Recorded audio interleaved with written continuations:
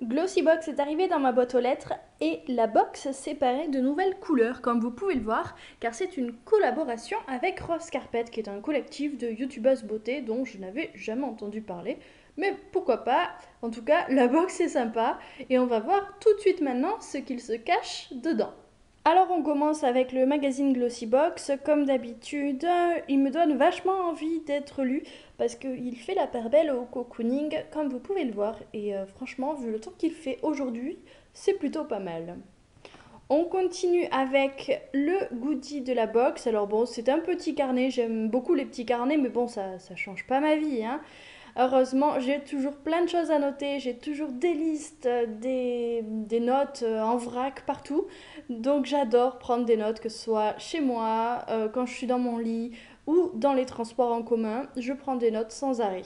On passe au contenu, on va dire réel entre guillemets, de la box avec ceci.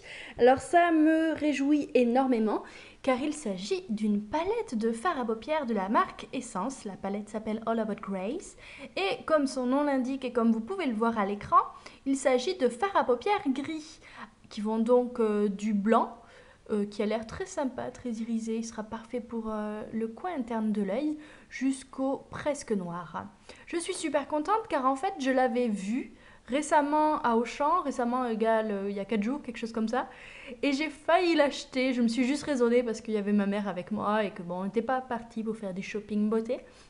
Dans tous les cas, je suis bien contente euh, bah, parce que là, bah, elle vient d'arriver dans ma boîte aux lettres. C'est génial, ça s'appelle le destin. On continue avec un autre produit qui me tente beaucoup beaucoup.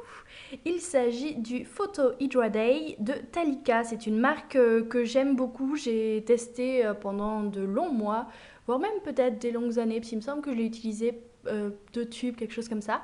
Son mascara pour les cils, pour faire pousser les cils. Et là, la marque nous propose quelque chose d'assez hallucinant.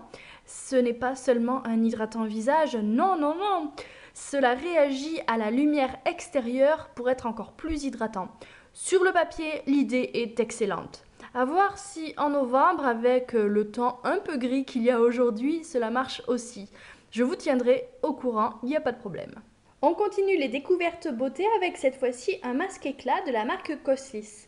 Il est adapté aux peaux normales à mixte et franchement je suis plutôt contente parce que j'ai eu l'occasion récemment de tester un produit Coslis qui n'était pas du tout, mais pas du tout adapté à mes cheveux.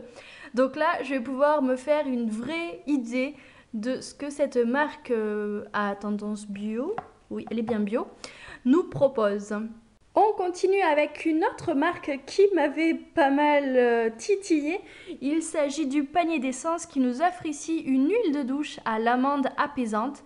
Alors petit 1, j'adore les produits de douche, j'adore les miniatures de douche, j'adore l'amande et je voulais absolument tester panier d'essence donc c'est banco. Je suis très très très contente.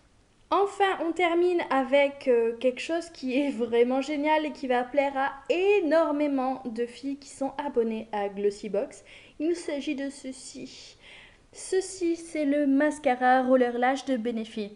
Je l'ai déjà eu en miniature, mais ce n'est pas grave, je suis ravie de l'avoir à nouveau. Je suis pas forcément euh, super super euh, enthousiasmée par ce mascara, mais il est pas mal, il fait son job.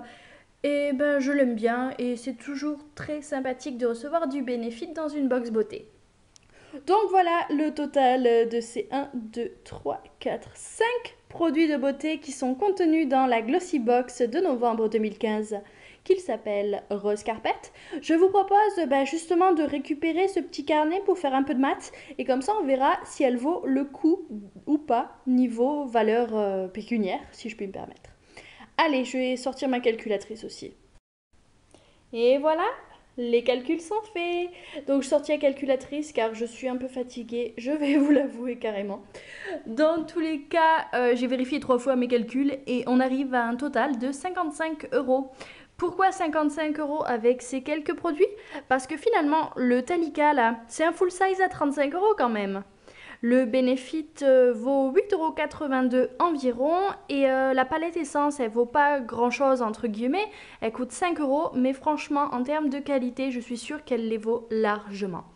Voilà, ce sera tout pour aujourd'hui. J'espère que vous avez apprécié cette vidéo.